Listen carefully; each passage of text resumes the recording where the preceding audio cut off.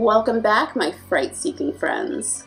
This evening's presentation is based on the large orange staple of everyone's Halloween doorstep.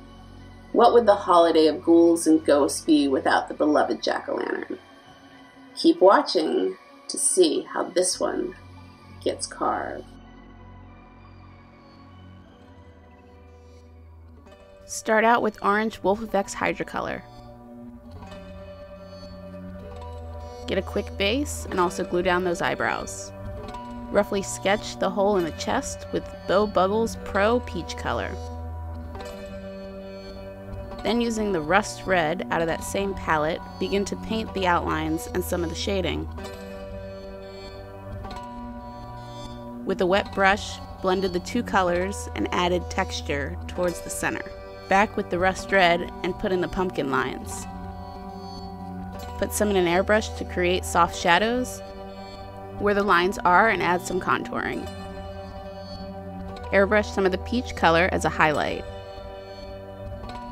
Also, with white Wolfe FX Hydrocolor, create the candle inside the pumpkin. Then added a flame with the Bo Buggles Peach shade. Taking the Collective Cosmetics Abyss eyeshadow color, add some softer shadows around the inside of the opening and on the candle to give it more dimension. Brightened up some of the high points of the candle with white hydrocolor. With Bo Buggles Pro Classic Color Number 2 palette, use the light yellow for some highlights on the edges to make it look like the light is being cast from the candle. Mix the saffron and light yellow to get softer highlights on the wall of the cutout. Add a wick to the candle with Kat Von D Beauty Tattoo Liner. Painted more bright spots on the candle and in the center of the flame. Even added a broken ring around the flame to make it look more like it was glowing. Took the light yellow and widened the highlights, also blending them out just a little bit. Put some texture on the pumpkin area by painting thin lines and high points. Doing the same thing with the Bo Buggles Pro Saffron color. With the black Wolfe FX Hydrocolor, painted out the tops of my shoulders and blocked out my ears for later. Added more streaks of the saffron color, this time using a flat rake brush, doing this with the peach color too. Quick spatter of the saffron over everything and being careful not to hit the candle. Use the peach and the airbrush to really brighten up the highlights. Followed by the Bo Buggles ochre color for a medium highlight. Bring back some of the shadows with the rust red color. Taking the black hydrocolor and line everything for added depth. Also took it and painted the inner parts of my arms to make them appear thinner. With the Skin Illustrator Hiroshi palette, use Koi Yellow and an orange stipple sponge to put in some texture. Added some hot spots sporadically along the black lines. Use the Collective Cosmetics Abyss shade around the candle and flame to add some contrast. Took green Wolfe FX Hydrocolor to start the vines wrapping around the chest. Back with the Collective Cosmetic Abyss color and add some shadows along the vines to make them look more 3D. Spray everything down with some blue marble sealer. Paint a few highlights with the Bo Buggles Pro Lime color. And followed with the light yellow for brighter spots. Took Skin Illustrator White for the brightest of the vine highlights. Wanted it to look like the candle was casting light on the vines, so use the peach color along the edges facing the candle. Even added more along the opening. Deepen shadows wherever it was needed with the Abyss eyeshadow. To really help the vines pop, line them with the black hydrocolor with a thin detail brush. Also added details around the opening and darkened under the candle. With the Bo Buggles peach color, add light blotchy textures and highlight anywhere I may have missed. Last thing, use the white hydrocolor for some hot spots all around. Now for the face. Put down a base of the orange hydrocolor. Added a stem with the Bo Buggles Pro Lime color. Painted out the pumpkin shape with the rust red. Any exposed skin, paint with the black hydrocolor. Went back in and extended the stem.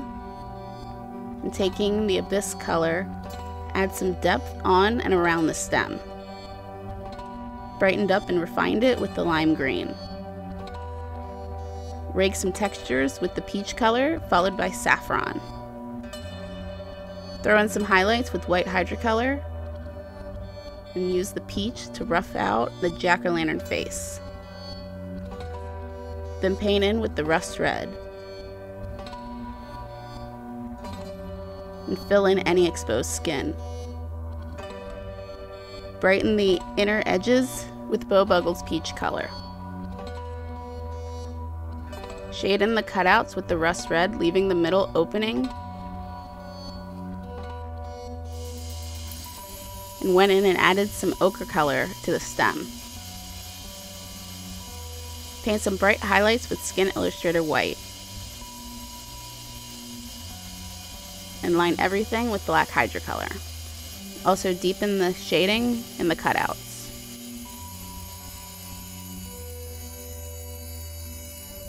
Airbrush in the crooks of the pumpkin with the rust red, then soften the blend into the black. Even added some contouring in the cheek hollows and temples.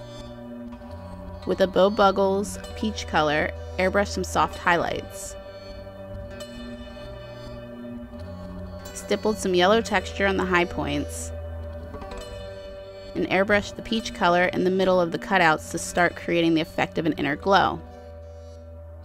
Add some vines, then shade them with the Collective Cosmetics Abyss shade. Then line and highlight them, just like on the chest. Take the peach color and add textures and highlights all around. Took a larger brush and blended out into the center of the eye and mouth. Paint in some split details and finish lining. Also the peach color, put in some larger splotches to look like the candle is casting more light. Pop in a few white highlights and airbrush some Skin Illustrator Koi Yellow to help bring out that internal glow.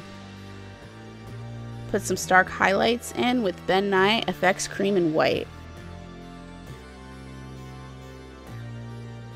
Back with the airbrush and going from white, then saffron to make the glow even more realistic. Use Beau Muggles light yellow in the most inner part of the glow. Put some darker shadows with the Collective Cosmetics Abyss color on the inner parts of the cutouts to really help that contrast. Then gradually up the brush size to get more contouring and depth around the face. Put in some contacts Line the eyes with ColourPop cream liner and cross. And that's it. Thanks for watching. Got more videos coming out every Monday, Wednesday, and Friday for this month, so make sure you subscribe so you don't miss out. Also, I'm creating a look for every day for the month of October. To check out all the makeups, go ahead and follow me on any of these social platforms.